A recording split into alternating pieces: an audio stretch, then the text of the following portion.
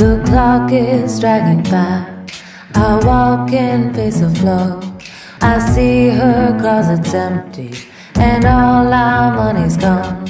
She's gone off with another and left me here alone. Oh, Maxine, Maxine, Maxine, Maxine, please, please.